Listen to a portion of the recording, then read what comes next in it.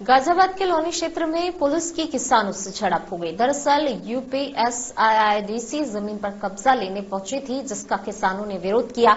Police प्रशासन के अधिकारियों ने बड़ी मुश्किल से किसानों को समझाया तो वहीं कुछ लोगों को पकड़कर थाने ले गई। किसानों की मांग, मौजे और विकास कार्यों को लेकर है। लोनी क्षेत्र के अलियाबाद गाँव में पुलिस और किसानों का संघर्ष हो गया।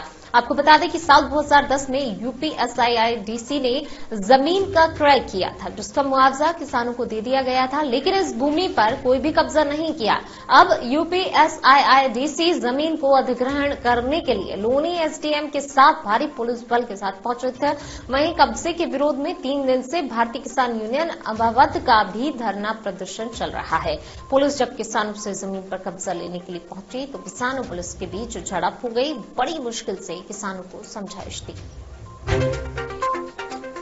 वैसे यहाँ मस- मशीन चल रही थी मशीन रोकने गई थी सीधा पहले टूट गया पुलिस ने प्रशासन आकर हम पर कार्रवाई कर दी थी कुछ लोगों को हिरासत में भी लिया है हाँ जी हाँ जी कितने लोगों को लेंगे कुछ पंद्रह बीस आदमी पंद्रह बीस आदमी किसानों से लगभग चौरानवे हेक्टेयर भूमि क्रय की गई थी उनका मुआवजा भी दिया जा चुका था कुछ कारणों से कब्जा नहीं हो पाया था तो यूपी सीडिया के अधिकारियों के अनुरोध पर मैं और पुलिस सब लोग यहाँ आए और कब्जा देने की प्रक्रिया शुरू की है।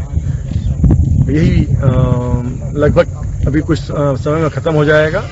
और जहाँ तक किसानों से झड़प की बात है, उनके द्वारा अपनी बात कही जा रही थी, हम अपनी तरफ़ से समझा रहे थे। और कुछ दिनों बाद वो मान गए और वो चले गए हैं।